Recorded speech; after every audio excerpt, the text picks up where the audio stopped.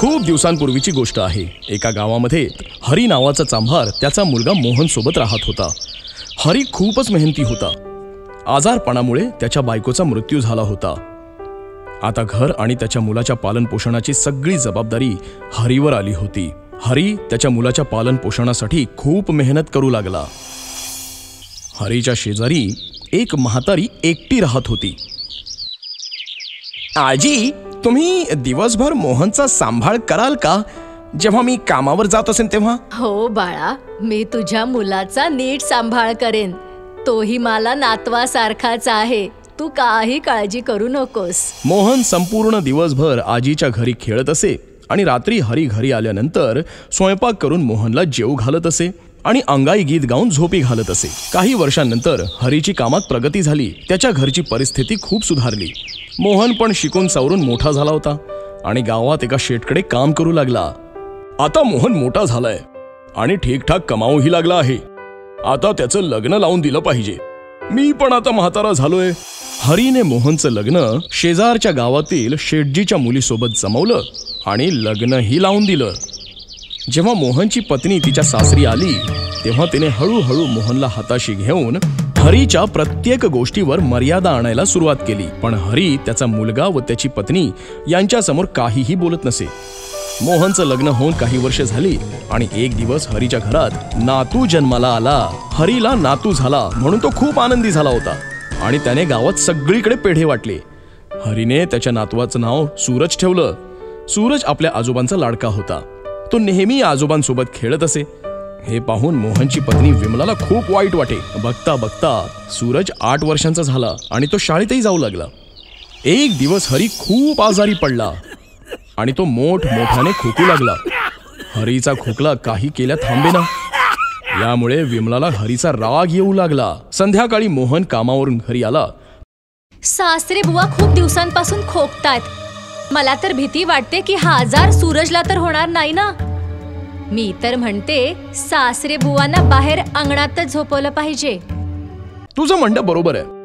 माझ्या वडिलांचं आता वय झालंय पण सूरज अजून लहान आहे. जर बाबांचा आजार त्याला झाला तर त्याच्या अभ्यासावरही परिणाम होईल. हो की नाही? सूरज आजोबांचं जरा जास्तच ऐकतो आणि आपलं अजिबात ऐकत नाही. तू मात्र काळजी करू नकोस. या विषयावर मी बाबांशी बोलतो. कडाक्याची थंडी पडली होती. आणि मोहन बाबांना म्हणाला बाबा तुमची तब्येत आता चांगली राहत नाही. हो रे बाळा मी वैद्याकडून औषधं घेतली आहेत पण काही केल्या आराम पडेना. बाबा तुम्ही जर वाईट वाटून घेणार नसाल तर मी एक सांगू का? तुम्ही जर अंगणामध्ये बाहेर झोपला तर जरा बरं होईल. कारण सूरज अजून लहान आहे.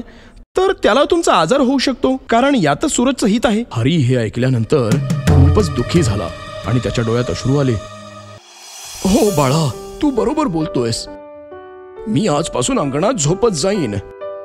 पण तुला एक विनंती आहे की बाहेर थंडी खूप आहे. तर मला एखादी चादर देशील का? त्यामुळे मी मरणार नाही. हो बाबा ही पण काही सांगायची गोष्ट आहे का? मोहनने पत्नीला एक चादर आणायला सांगितली. आणि आपल्या वडिलांना ती चादर दिली. आणि सोबतच मोहनने आपल्या वडिलांचं सर्व गरजेचं सामान सुद्धा तिथेच ठेवून दिलं. दरवाजामध्ये उभा असलेला सूरज आपल्या आजोबांचे डोळे आणि त्यांचा उदास चेहरा व्यवस्थित पाहत होता. म्हातारा हरी बाहेर चादर पांघरून खोकत खोकतच झोपला. पण सूरज तिथेच थांबून आजोबांकडे चुपचाप बघू लागला. काही वेळाने विमला सूरज जवळ आली आणि म्हणाली सूरज तू थंडीमध्ये थांबून काय बघतोयस? आतमध्ये चल नाहीतर तुला सर्दी होईल. आई हे बघून मी विचार करतोय की तुम्ही सुद्धा म्हातारे झाल्यानंतर मला तुम्हाला अशीच एक चादर देऊन अंगणात झोपवावं लागेल नाही?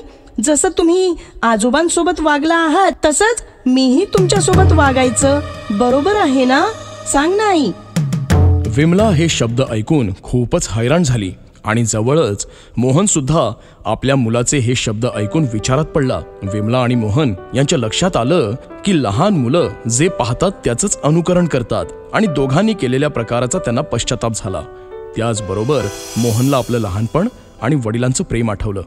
बेटा आम्हाला लक्षात आलं की आम्ही चुकलो आहोत. आम्हाला आजोबांसोबत असं नाही करायला हवं होतं. आता ते अंगणात नाही तर आपल्यासोबत घरातच राहतील. आणि उद्या आपण बाबांना डॉक्टरांकडे घेऊन जाऊ. मग ते लवकरच बरे होऊन तुझ्यासोबत खेळतील.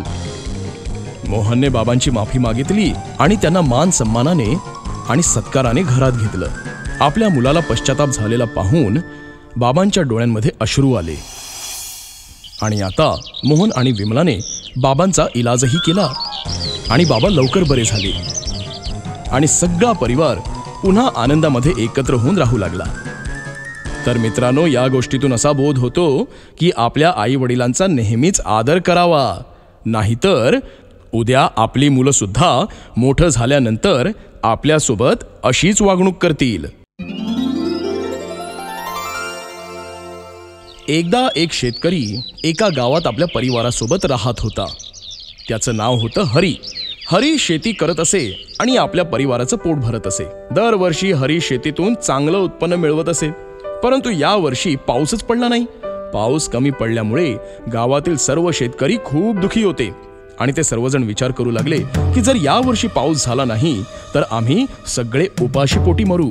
हरीला जेव्हाही काळजी वाटायची तेव्हा तो त्या गावात एका म्हाताऱ्या तुकाराम नावाच्या व्यक्तीकडे जायचा आणि छान छान गोष्टी ऐकायचा. तुकाराम एकटाच गावच्या बाहेर झोपडीत राहत असे. एक दिवस हरीचा मुलगा दगडू खूप आजारी पडला. त्याच्या घरामध्ये पिण्यासाठी पाणी सुद्धा नव्हते. पाण्याची कमतरता आणि मुलाच्या आजारपणामुळे तो खूपच दुखी झाला होता. कृष्णाला खूप ताप आहे. वैद्याने औषधं तर दिली आहेत पण ती घेण्यासाठी घरात पाण्याचा एक थेंबही नाही तसंच आजूबाजूलाही कुठे पाणी नाही. काहीही करून पाणी घेऊन या. हरी हे ऐकून खूपच हताश झाला आणि त्या म्हाताऱ्या तुकारामकडे तो गेला. अरे हरी तू खूप दिवसांनंतर माझ्याकडे आलायस. कसं काय आहेत सर्व गावकरी? बाबा आता काय सांगू? पाऊस नसल्यामुळे सगळी पिकं वाळून गेली आहेत आणि सगळ्या विहिरीतलं पाणी सुद्धा आटलंय. गावात खूपच दुष्काळ पडलाय. माझा मुलगा कृष्णा खूप आजारी आहे आणि घरात एक थेंब सुद्धा पाणी नाही. त्यामुळे मी खूप काळजीत आहे. जर असं चालत राहिलं तर आमच्यातली कोणीही जिवंत राहणार नाही. तेव्हा हे ऐकून तुकारामने हरीला तांब्याभर माठातलं पाणी दिलं आणि म्हणाला तू चिंता करू नकोस. हे घे थोडस पाणी पिऊन घे.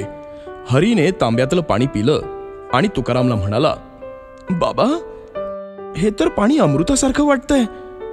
तुम्ही कुठून आणलं हे पाणी? तेही या कठीण दुष्काळात. तुकाराम हरीला म्हणाला अगोदर तुझ्या घरी पाणी घेऊन जा हे. जेव्हा तू परत येशील ना मग मी तुला पाण्याचं रहस्य सांगीन. तुकारामाचं म्हणणं ऐकून हरी खूप आनंदी झाला आणि तो तांब्याभर पाणी घरी घेऊन गेला. आणि मग त्याची पत्नी ताराने कृष्णाला औषध दिलं आणि पाणी पिण्यासाठी दिलं. हरीला पाणी आणताना त्या गावातील एका कमलेश नावाच्या व्यक्तीने पाहिलं. तेव्हा कमलेश हरीच्या घराच्या बाहेर लपून बसला होता. तो हरी घराच्या बाहेर येण्याची वाट पाहत होता. जसा हरी घराच्या बाहेर निघाला तसं कमलेशने त्याला पकडलं आणि विचारू लागला की तू तांब्याभर पाणी कुठून आणतोस? हरीने त्याला सगळं सांगितलं. आता ते दोघेही तुकारामाच्या झोपडीकडे जाण्यासाठी रवाना झाले. तुकारामाच्या झोपडीमध्ये पोहोचल्यानंतर कमलेशने म्हाताऱ्या तुकारामाला विचारलं बाबा मला सुद्धा पाण्याची खूप गरज आहे. मला तुम्ही हे सांगा की हे पाणी कुठून आणता तुम्ही? तुकारामने दयाळू मनाने हरी आणि कमलेशकडे पाहिलं आणि म्हणाला बाळा मीही कधी तुमच्यासारखा तरुण होतो. मी आणि माझा परिवार याच गावात राहत होता. पण एक दिवस असाच दुष्काळ पडला आणि त्या दुष्काळात पाणी न मिळाल्यामुळे माझी पत्नी आणि मुलगा मरण पावला. म्हाताऱ्या तुकारामाची गोष्ट ऐकून हरी खूप दुखी झाला. आणि दुसरीकडे कमलेशला हे ऐकून काहीच वाटलं नाही. त्याने तुकारामाला विचारलं मी तुमच्या गप्पा ऐकायला आलो नाहीये. मला एवढंच सांगा की तुम्ही पाणी कुठून आणलं आहे ते?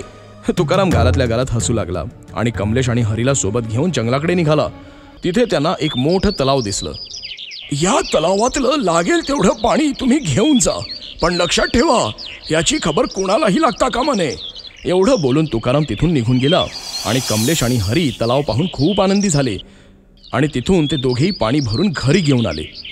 कमलेशने गावातील लोकांना त्या तलावाविषयी सांगितलं आणि गावातील सर्व लोक त्या तलावाजवळ पोहोचले आणि तिथून पाणी भरून नेहू लागले. हळूहळू गावकरी आपल्या बैल म्हशी तलावावर आंघोळीला आणू लागले आणि अशा प्रकारे तलावातील पाणी खूप दूषित होऊ लागलं. काही वर्षांनी ते पाणी पिल्यामुळे गावातील माणसं आजारी पडू लागली. त्यामुळे गावातील लोकांचा मृत्यूही होऊ लागला. हरी पुन्हा एकदा म्हाताऱ्या तुकारामाकडे गेला आणि म्हणाला बाबा आता त्या तलावातील पाणी दूषित झालं आहे. जे कोणी ते पाणी पितात ते लोक आजारी पडतात आणि मरतायत बिचारे. आता तुमच्याकडे दुसरं असं कुठलं तलाव आहे का जिथून आम्हाला पाणी मिळेल?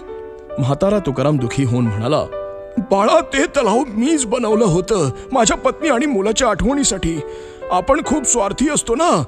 आपली गरज भागवण्यासाठी आपण मनुष्य नेहमी निसर्गाशी खेळत असतो. माझी पत्नी आणि मुलाचा मृत्यू पाणी न मिळाल्यामुळे झाला होता.